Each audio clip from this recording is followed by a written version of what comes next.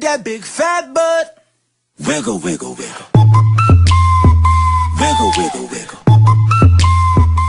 Hello everyone, my name is Sharvy with Strictly Shisha, and these are my two companions, co-reviewers. Zach and Sam. we're here for another workout review. I mean, shisha. What are you smoking, Sharvy?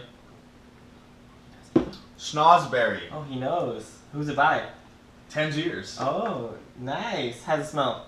It smells like a like a mixed berry, like mixed berries. Okay, any particular berry note you can smell? I just said mixed berries. Any particular I just said mixed berries. like a strawberry, No, raspberry, mixed. blueberry, No, they mixed. evenly mixed, Yes. partially mixed, 70 30, 20 40, Stop asking 10 questions. 15. Stop it.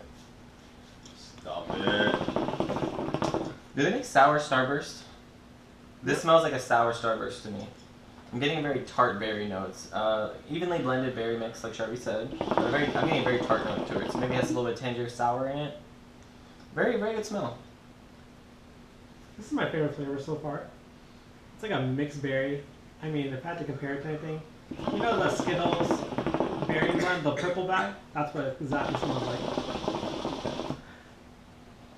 So how does that translate to the smoke? Let's see. So we've been smoking for about 30 minutes. Nice and warmed up now.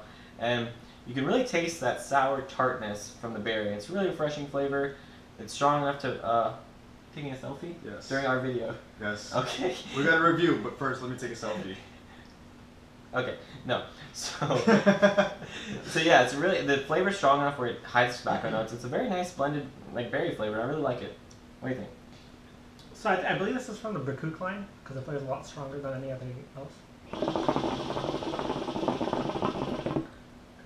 Great tangier smell like always. When you smoke, you get a tart flavor. That's right, like you were saying. You also get like a hint of berry at the back end. Overall, solid flavor. Definitely buy it again. Yeah, definitely buy it. And from what I remember, oh, fell out. Um, Schnozzberry is a blend that changes a little bit from batch to batch. So I've smoked about, I think, three different batches of Schnozzberry, and they're all very good. I think they're all a little bit different. I think my batch before wasn't as tart. This one's a little more tart, so Schnozzberry is always a good buy, even though it's a little bit different every time, if I remember.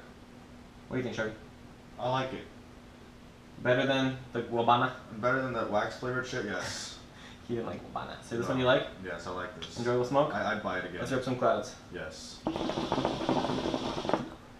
What'd you say? Buy it again. Have you ever bought, have you ever bought tobacco in your life? Yeah, I bought it once From Dubai. from Dubai. Like four years ago. What did you buy from Dubai? Tobacco. It was duty free. I didn't pay tax on it. Do you brown people pay taxes anyway? Or you're not brown.